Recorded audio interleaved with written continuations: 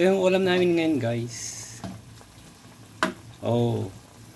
Dahon ng malunggay at kalabasa. Saka may sahog na pritong isda. Ito yung luto ng Magic Palayok. Magic Palayok to guys. Amoy pa lang, ulam na. Tapos meron pa ano dito. Oh. Nagpapaksiw pa ako. Mmm, yummy. Game St. George. Amoy pa lang, ulam na.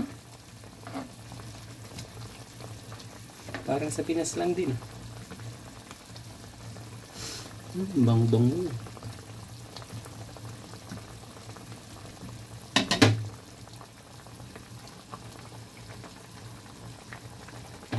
Game mas ano.